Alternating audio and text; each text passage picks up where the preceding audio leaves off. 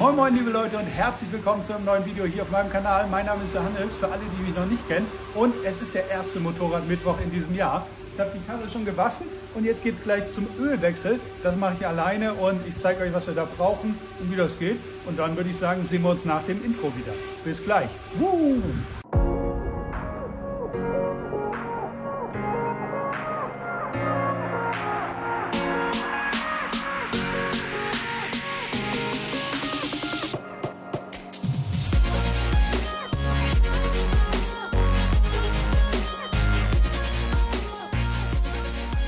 Es kann losgehen mit dem Ölwechsel. Die Karre ist jetzt warm gefahren. Man sagt so 10, 15 Kilometer fahren, damit das Öl ungefähr eine Temperatur von 80 Grad hat. Habe ich zumindest gelesen.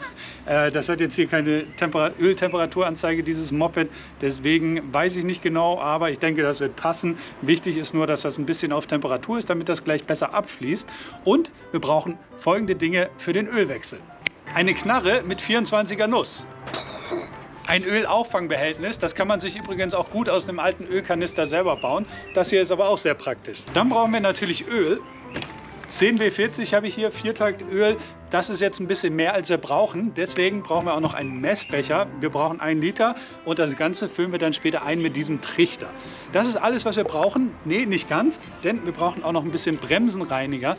Und was es damit auf sich hat, das erzähle ich euch gleich. Den Gummihandschuh oder zwei sind auch noch ganz praktisch. Natürlich alles wie immer in der Videobeschreibung verlinkt. Ich habe es mir ein bisschen gemütlich gemacht, aber nicht um eine Runde zu pennen, sondern um euch die Ölablassschraube zu zeigen. Das ist die hier, von ein bisschen weiter weg. Hier unten sitzt die. Und da müssen wir gleich ein bisschen aufpassen, denn da sitzt eine Feder hinter, dass uns die nicht entgegengesprungen kommt. Und ich würde sagen, wir legen einfach mal los.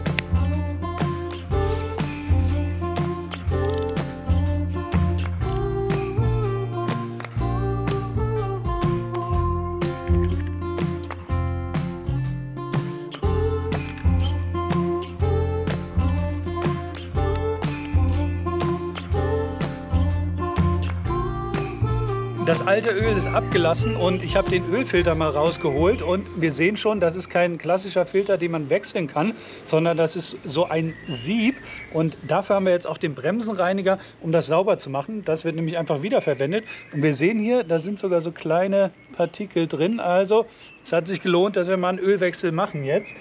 Und natürlich müssen wir gleich beim Zusammenbau dann beachten, dass wir den wieder richtig rum reinsetzen. Aber das haben wir ja zum Glück auf Video. Können wir nochmal nachschauen, wenn wir uns nicht sicher sind.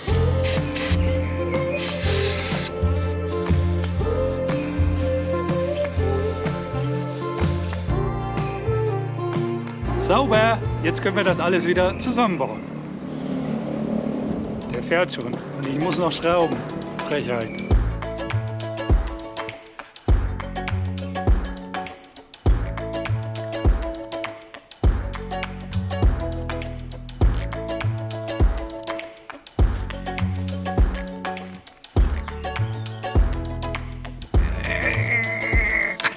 Wichtig ist natürlich auch, dass ihr die Schraube am Ende nicht zu fest anzieht, sonst geht das Ganze nämlich kaputt. Machen wir uns ans Nachfüllen. Dazu müssen wir aber einmal rüber auf die andere Seite. Boah, Digga. Alter. Ich krieg das nicht ab. Das ist normal. Oh, geht ja ganz einfach. Und zwar haben wir auf dieser Seite unseren Öleinfüllstutzen. Den schrauben wir einmal auf. Und dann sehen wir auch schon, dass da ein Peilstab zum Vorschein kommt. Den brauchen wir später noch. Hier, ne? Und da füllen wir uns jetzt ein Liter Öl rein. Das messen wir aber erstmal ab. Das ist natürlich Quatsch, ne?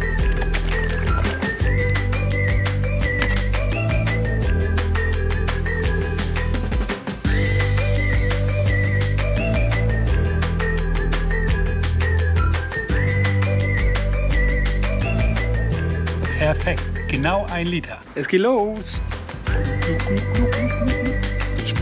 Da rein.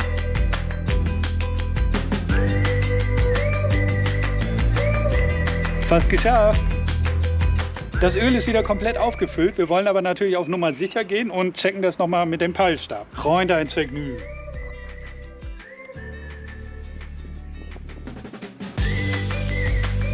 Einmal zudrehen und wieder aufdrehen. Perfekt. Hier auch nochmal. Perfekt, perfekt. Und wieder zu. Jetzt kommt natürlich der Moment der Wahrheit. Schmeißen wir die Kiste nochmal an und hoffen, dass wir alles richtig gemacht haben. Ne? Da schnurrt sie wieder. Jawohl, sehr gut. Ah, herrlich. Kann wieder losgehen. Hui! Langsam warm laufen lassen. Das war's mit dem Ölwechsel an der Brixton Felsberg 125. Echt eine simple Sache, kann man eigentlich gut selber machen, kriegt ihr bestimmt auch hin. Oder habt ihr vielleicht auch schon gemacht bei eurem Motorrad, dann schreibt das gerne mal in die Kommentare. Ich räume jetzt hier noch meine Unordnung auf und mache alles wieder sauber und dann lasse ich die Karre noch mal ein bisschen warm laufen. Vielleicht fahre ich auch noch eine Runde, aber das seht ihr dann nächste Woche. Da nehme ich euch mal wieder mit auf eine Runde durch den Schwarzwald oder so. Oder schreibt mir gerne mal in die Kommentare, was ihr noch beim Motorrad Mittwoch sehen wollt. Immer gern rein damit in die Kommentare, freue ich mich. Ansonsten könnt ihr hier natürlich weitere Videos von mir anschauen und hier den Kanal abonnieren. Am Sonntag kommt dann wieder ein Video zum Bus, zu dem Decken da hinten. Mittwoch wieder Motorrad, wieder Bus, wieder Motorrad.